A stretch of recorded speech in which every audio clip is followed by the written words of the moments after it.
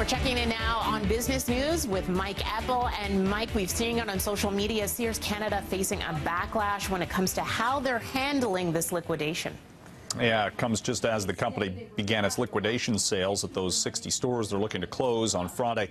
Last week, uh, Tammy, good morning. The um, uh, boycott Sears Canada, though, gaining some traction on uh, social media because what people are upset with was the uh, court approved plan by Sears to pay retention bonuses to executives at the same time. They're cutting almost 3,000 jobs and cutting off the severance packages, you know, defined benefit pension plans, that sort of thing. So it's the PR scenario that Sears Canada is facing now. They, they want to see more customers, obviously. They want to exit bankruptcy protection later this year as a sort of a reborn brand can you do that if you don't have any customers? So they're going to have to deal with that. It's going to be interesting to see exactly how this plays out as uh, Sears Canada currently is shopping for a buyer.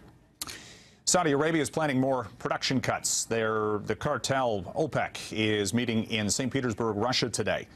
And uh, the Saudis are saying they want to cut production further, stabilize the price for oil. They want to get the other member nations complying with the current production cut agreement.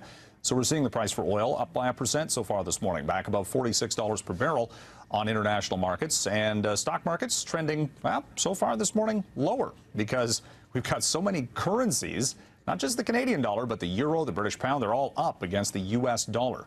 This week, we've got a midweek decision on interest rates coming from the U.S. Central Bank. That's going to have the currency markets trading uh, more typical, more volatile, I guess, and the uh, Canadian dollar starting the day close to 80 cents U.S.